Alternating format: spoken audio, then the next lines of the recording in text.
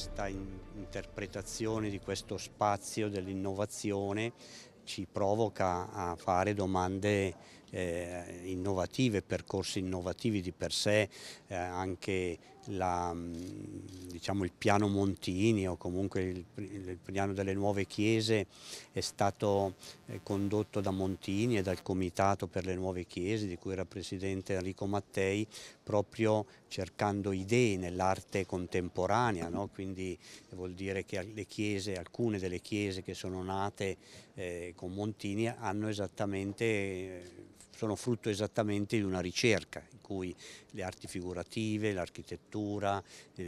l'acustica, l'ingegneria, insomma tutti hanno contribuito a dire non possiamo immaginare eh, che la Chiesa sia per forza sempre come Sant'Ambrogio, che naturalmente è la miglior chiesa che si possa immaginare, ma del romanico che continua a parlare anche ad oggi. Però insomma sono state create eh, chiese che rappresentano dei passi avanti nella storia dell'architettura religiosa proprio perché Montini e il suo comitato hanno lanciato queste idee. Qui abbiamo forse una innovazione più radicale e quindi credo che anche la, la richiesta di contributi è più radicale.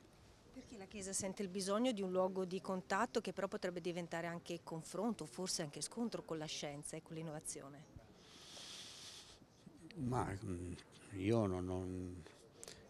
non credo ecco, che ci sia mai stato uno scontro tra la scienza e la fede. Credo che eh, quando ci sono stati degli scontri è stato perché la fede è diventata ideologia e la scienza è diventata ideologia. Sono due ambiti della ricerca e della conoscenza che possono e devono essere eh, come un reciproco modo di aprire orizzonti piuttosto che come una determinazione a porre eh, steccati, a costruire barriere. Quindi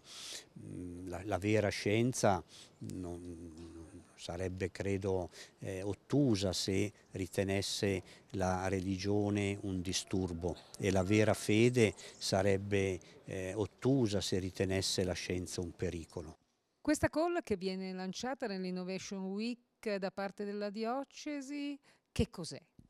È un grande invito aperto a 360 gradi alla partecipazione, un garbato, una garbata richiesta d'aiuto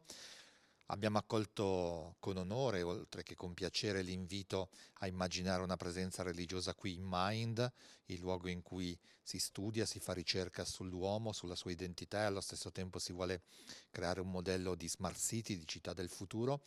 E allora l'idea è accettare la sfida nel solco dei nostri predecessori,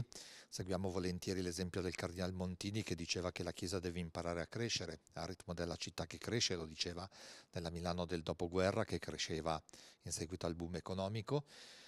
E allo stesso tempo però siamo qui convinti che le risposte ci devono venire da tutti perché lo Spirito suggerisce a tutti, quindi dal popolo di Dio, ma da tutti i popoli che abitano Milano, per cui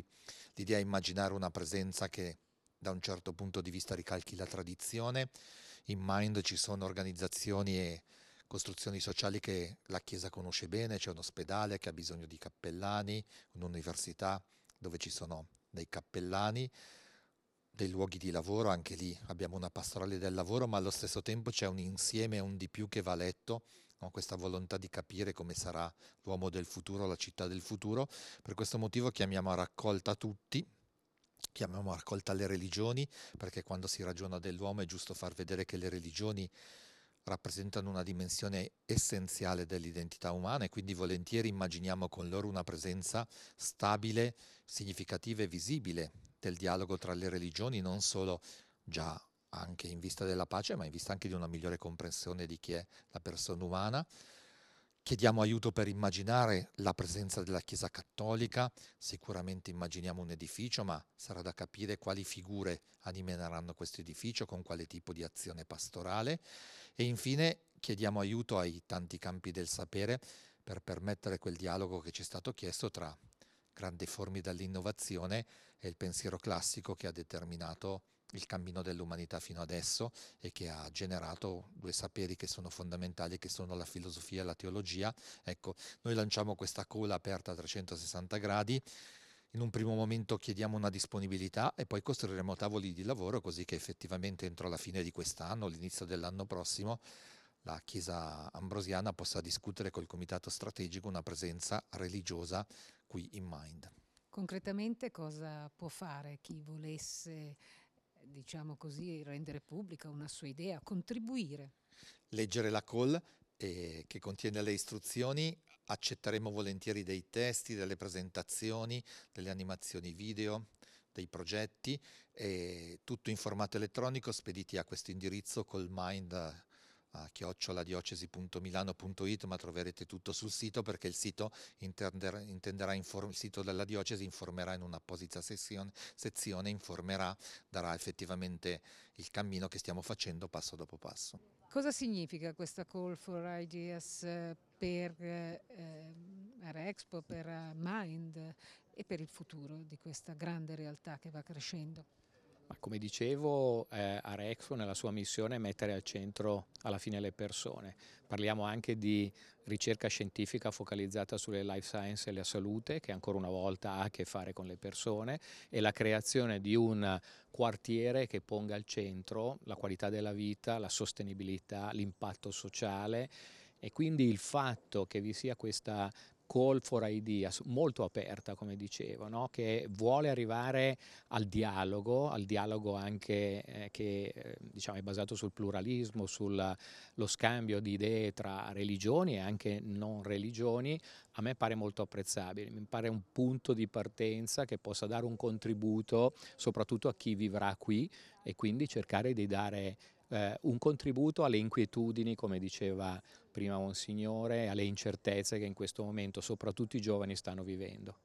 Ecco, lei ha detto, aprendo questa conferenza stampa, un momento importante, un momento anche di snodo che segna l'avvio di un cammino ulteriore dei tanti che, sui quali si sta procedendo con Erexpo e con Mind. Sì, è un cammino proprio verso le sfide del futuro, in fondo in profonda continuità con quello che era stata l'Expo, no? cioè un umanesimo, una riflessione sull'uomo per affrontare il futuro. Oggi abbiamo avuto da Monsignor Delpini e da questo lancio di questa iniziativa della Diocesi di Milano una sfida e un contributo, camminare insieme per cercare quali possono essere le vie più promettenti per trovare risposte.